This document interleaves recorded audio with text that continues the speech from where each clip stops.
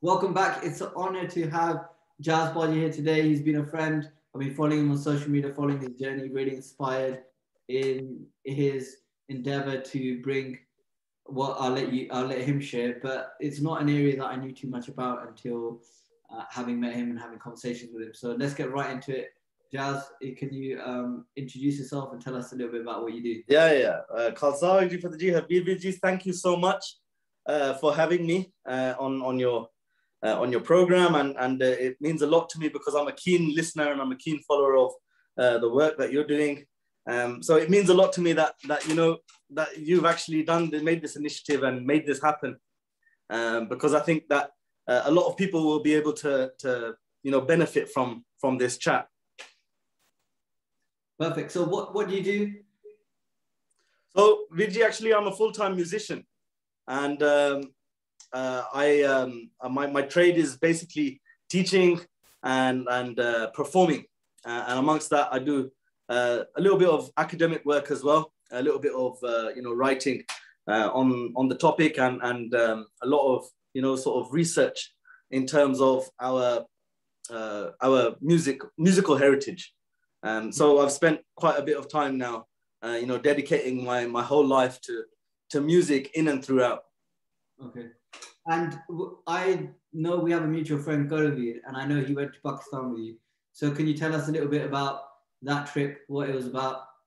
Yeah, yeah, yeah. Pakistan. Um, so um, myself and Kirit Singh, um, you know, we were really, really good friends and co sort of musicians together. We have um, a band together called Dhrupad Dhamar, and and we go and and, and share our music and and give kirtan haziris all over the world.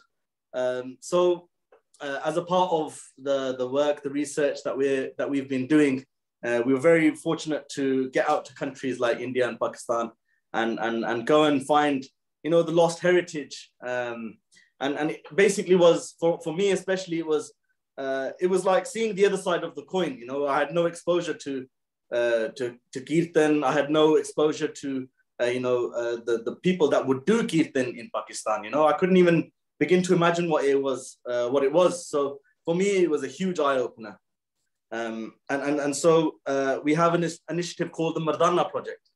and as a part of this project, we aim to um, demystify a lot of the common day narratives as to, you know, what is the correct way to do Kirtan and and and and you know of answering these sort of questions so that that brings me to a question which somebody asked um, which was in your opinion uh, what's your opinion on kirtan that's not in rag so is it okay to do that or yeah i, I think this is this is something which um, you know it's, it's, a very common thread at the moment you know uh, that should the the bani be sung uh, as the the rag, rag that it's prescribed in and um, I'm not in a position to say, uh, you know, what is right and what is wrong.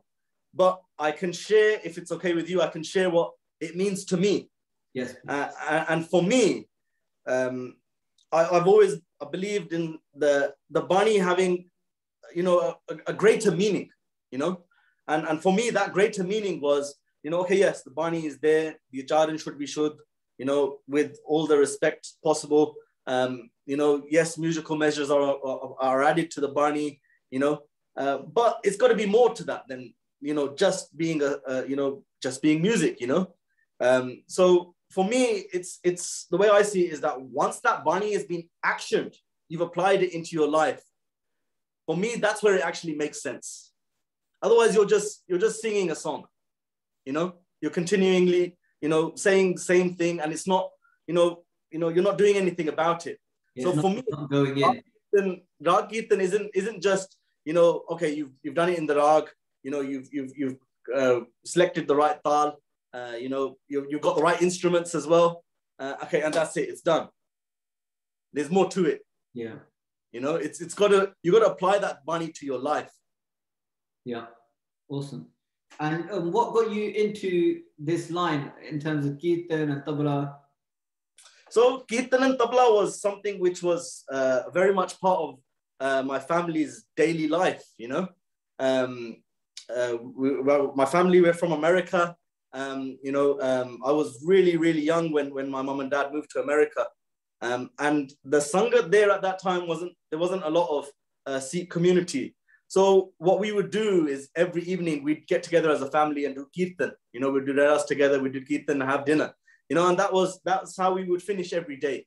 You know, so for us, uh, you know, kirtan it, it was a part of it was a part of our fabric. You know, a part of our living. That's amazing. And how like how old were you when you started playing tabla? Like, what's your journey in? I know so, you play tabla, so excuse my ignorance, but you know, what was that musical, professional musical musician journey like?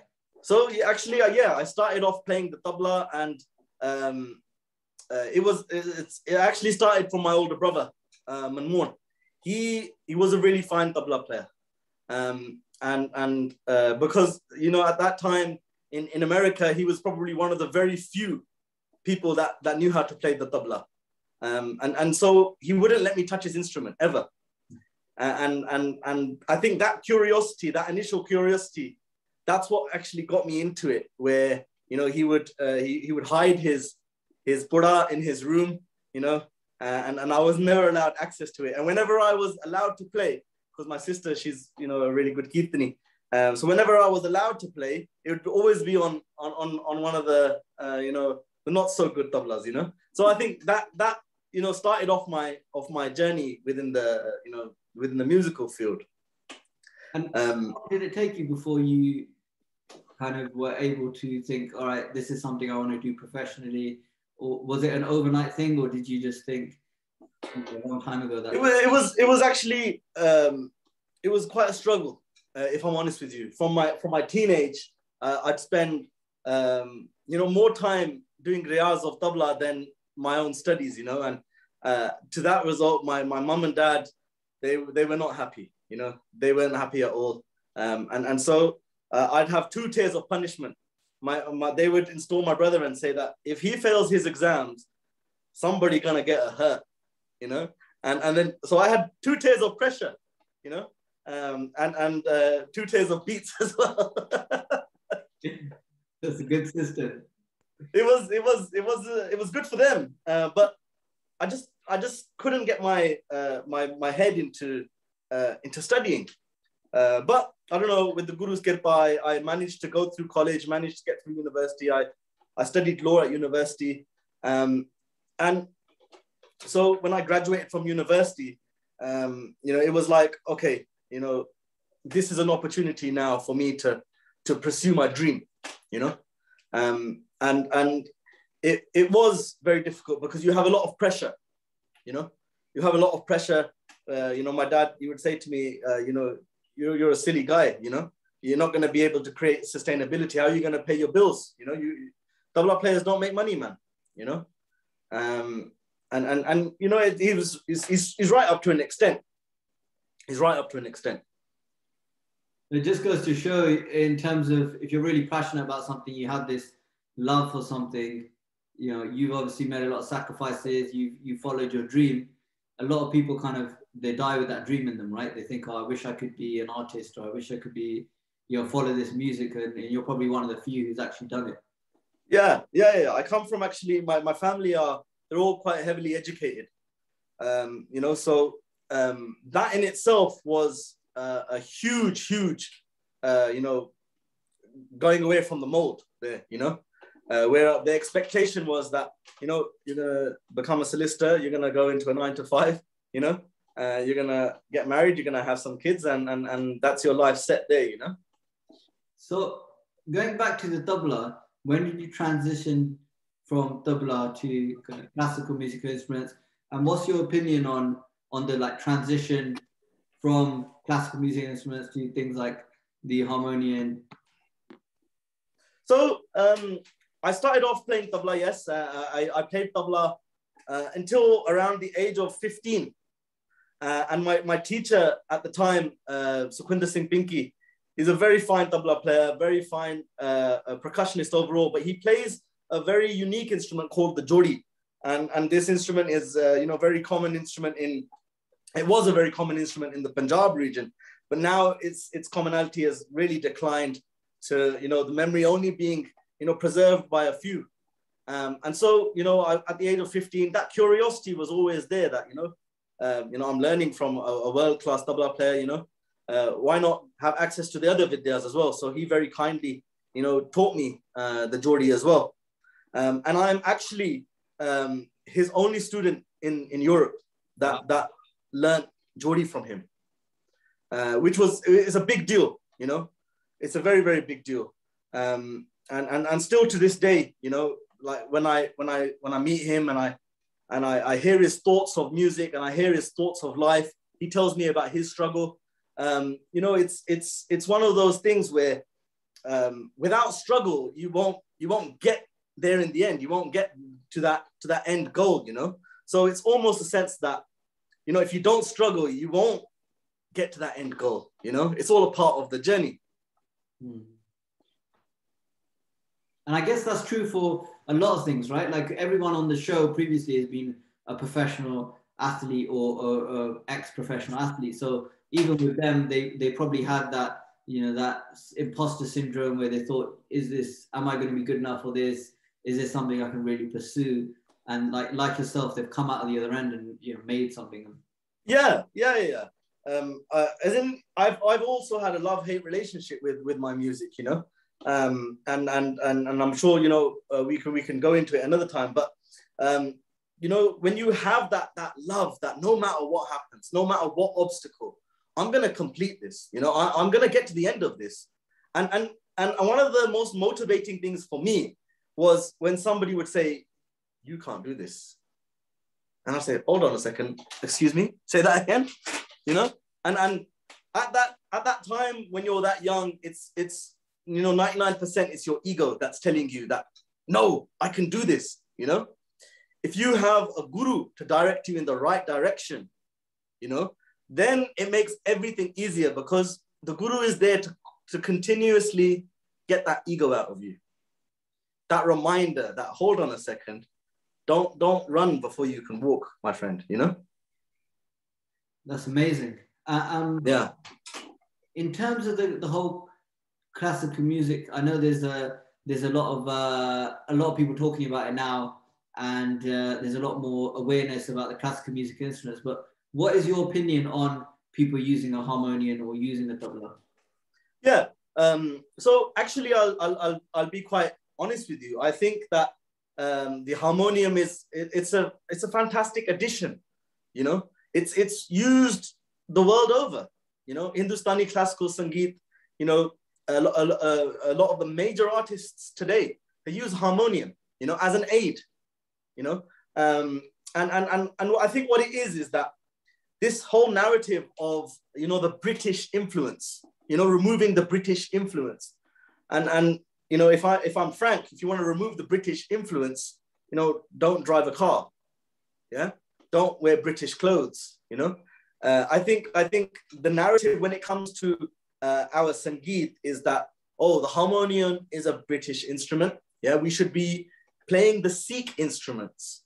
Now, there's no other religion in the whole world that claims to have an instrument in their religion. You don't hear Muslims saying that, no, this is a Muslim tabla, you know, but you don't, you don't hear Hindus saying that this is a Hindu pakawaj. No, yet these instruments were, you know, like the pakawaj, for example, was was in existence before the time of Guru Nanak Patshah, you know? So, um, and if you look at the evolution of musical instruments um, from the time of Guru Nanak Dev to Guru Gobind Singh Patshah, you know, it started off with Rabab, you know, uh, uh, Guru Amar Das Ji went to Saranda, you know, then went to Taus, and, and, and, you know, so on, it carried on. You know, Jori was added later, um, uh, and then tabla came after that, you know, so there's always been uh, additional instruments which have over the time, over the span of from Guru Nanak Dev Ji all the way to now, Sri Granth Sahib, you know, that the instruments have always evolved. Now we're very lucky, you know, we have multiple genres within our, uh, within the Guru's Darbar. Uh, you know, the guitar is used nowadays. And, and, and I think that, yeah, it's, it's a great, um, it's a great addition. What I do believe is that there is an argument for not having an, a harmonium within Hindustani Shastriya Sangeet. But that is when you've had a serious level of talim and you're able to recognize the nuances. You know, like uh, like like you, you you were mentioning once that like Bobby, you know, she's taken uh, talim at the Bhavan, you know, for, for more than 10 years, you know. When you've, when you've had that level of, of, uh, of learning, you know, then you can understand the intricacies, you know, the Yeah. sur between the sur, you know. Yeah, and she she in her instance, she didn't start on a harmonium. She started with uh, Indian classical instruments, and then later on, when she got into Sikhi, then she um, started doing more kirtan. Uh, Yeah. Actually, like her whole her whole ten years, or, or majority of, if I'm not incorrect, her practice time was you know focusing on just you know the actual vocals and improving like the learning the rags and all that kind of stuff. Yeah, yeah. So look, for, for me, you know, I I'm a teacher. You know, I, I teach on a daily basis, and and my my youngest student is is five years old, and my oldest student is sixty. You know, Wow. um, and and and so you know, when I look at um, uh, you know a student, for example, I teach the student the way that I would have liked to have been taught. You know, for me, that's a big deal because you know the journey everybody talks about their struggle. Everybody talks about you know how you know they've had to to learn the hard way sometimes. If i can you know impart knowledge without these kids going through the hard way you know for me i get good sleep at night you know because i remember what i had to do to understand certain things you know? That's amazing. Go- going on to that, in terms of with your students, I know with musical instruments like violins have potential uh, chronic issues from being in that position. Tabla, I know a few tabla players. We have mutual friends with tabla.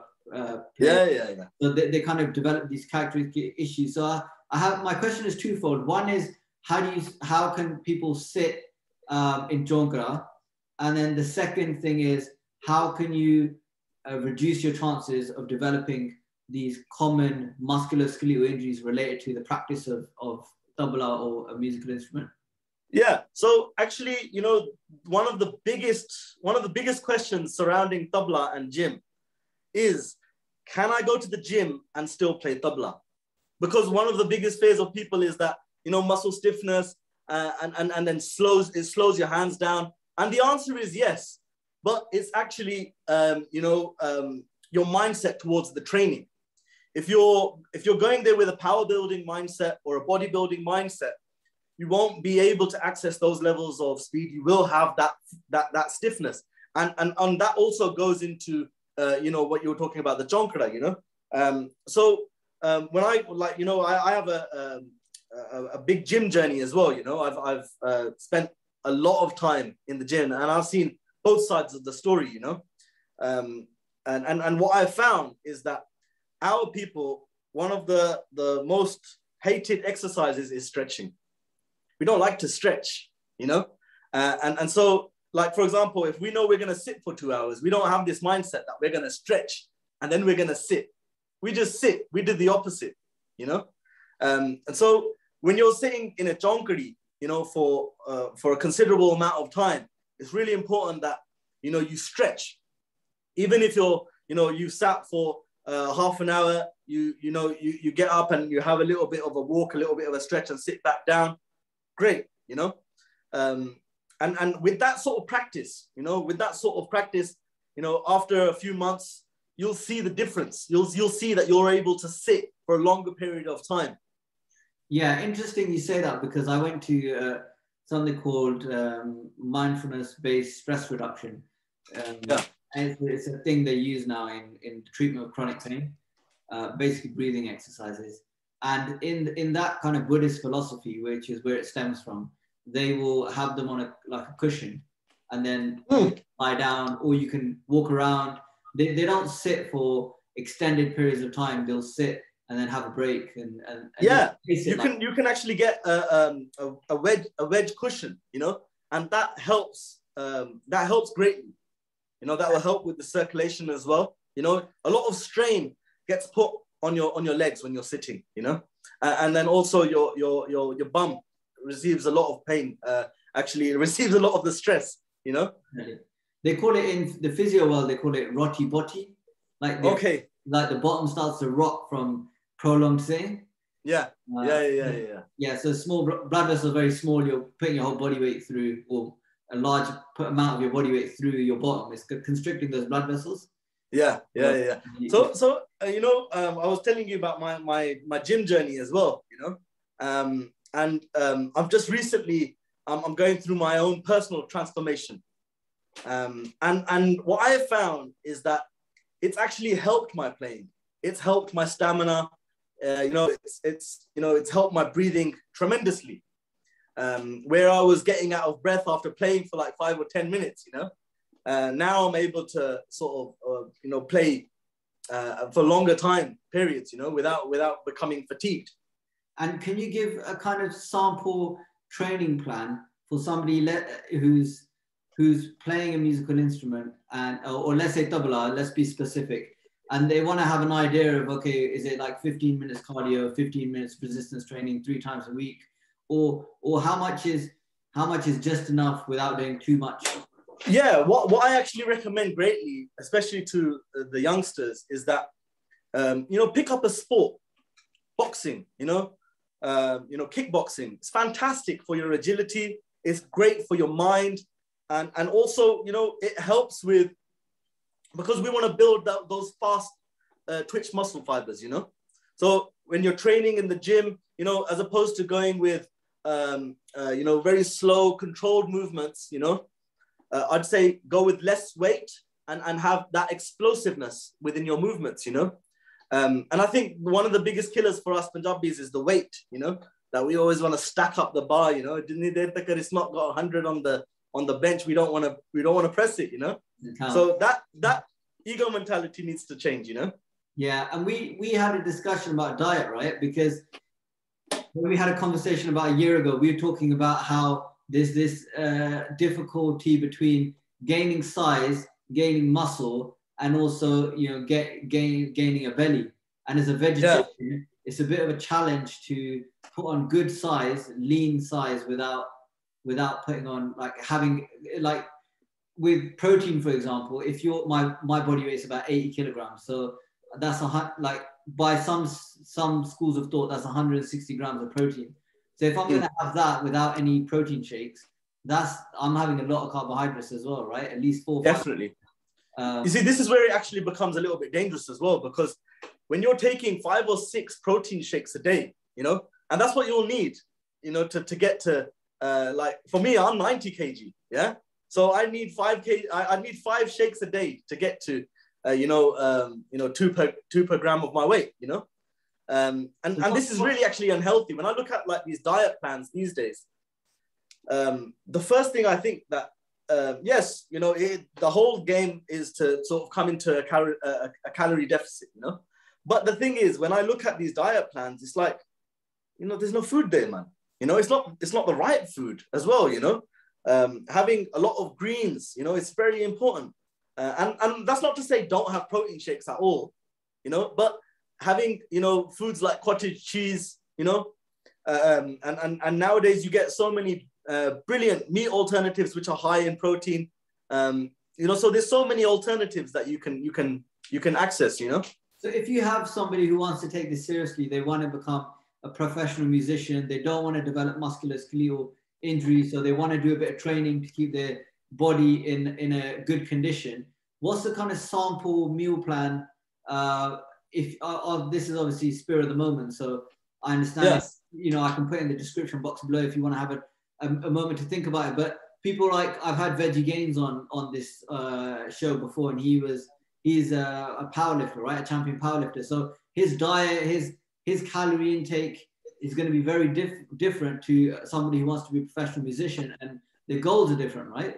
So the amount of volume of, of training is different, the amount of um, intake is different, uh, and you know they're, they're looking more for speed and more for preventing injuries as opposed to getting as strong as you possibly can. So what, what does that look like?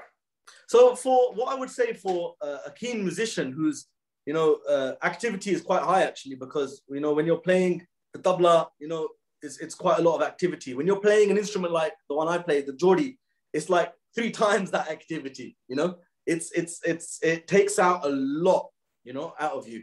What I would say is that um, having a good regimented plan, you know, uh, because, you know, we talked about this before, that this one glove fits all scenario where, you know, where somebody puts out a, a diet plan and then we go and follow that to the T, and then we realize, hold on a second, it's not working for me. You know, I'm actually putting on more weight.